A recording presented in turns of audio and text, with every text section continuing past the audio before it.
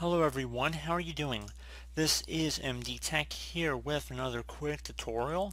In today's tutorial I'm going to show you guys how to hopefully resolve if you're coming across an error that says that the Windows script host access is disabled on this machine. So it should hopefully be a pretty straightforward process here guys and without further ado let's go ahead and jump right into it.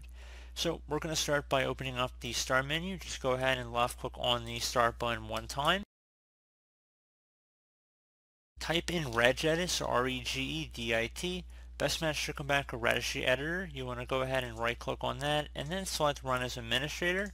If you receive a user account control prompt, which is probably going to be pretty common, you want to go ahead and select yes. Now before you do anything in the registry, I'd highly suggest that you create a backup of it. In order to do that, it's very simple. You want to just go ahead and left click on the file tab up in the top left, select export, file name, Usually to just naming it the date in which you're making the backup.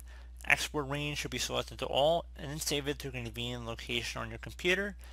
And then if you ever need to import it back in, just do file import and then navigate over to the file. So pretty straightforward.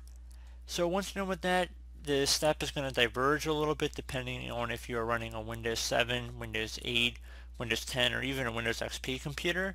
I will have that in the description of the video. So Windows 8 and Windows 10 you're going to be expanding the HKey current user folder. If you're on Windows 7 or earlier editions you're going to go expand HKey local machine. So one big difference there, just keep that in mind. Everything else will be the same though after that point. So once you've expanded either HKey current user if you're on Windows 8 or Windows 10 or you've expanded HKey local machine if you're on Windows XP, Windows Vista, Windows 7.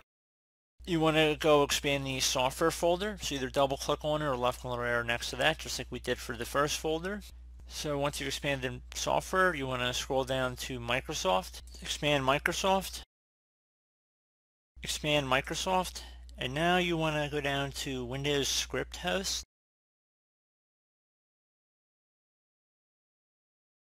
and you want to either double click on it or expand the little arrow like we were doing before. Now there should be a folder that says settings underneath. So just go ahead and click on that one time. On the right side you want to right click in a blank area, select new, and then select DWORD 32-bit value. Type in enabled, so E-N-A-B-L-E-D, so again enabled. Hit enter on your keyboard to save that, and then you want to double click on it Set the value data to 1, so if this is 0 in here, delete it. Type the number 1. Don't spell out 1, just type the number 1 in this value data field. Select OK once you're done, and that should be about it. So go ahead, you can close out of the registry editor at this time, restart your computer, and I hope that was able to resolve your problem.